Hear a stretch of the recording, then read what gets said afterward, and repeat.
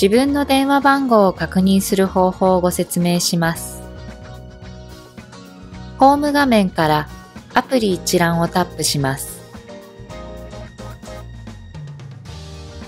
基本機能設定をタップします。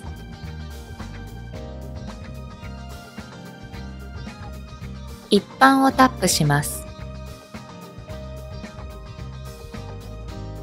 画面最下部にある端末情報をタップします。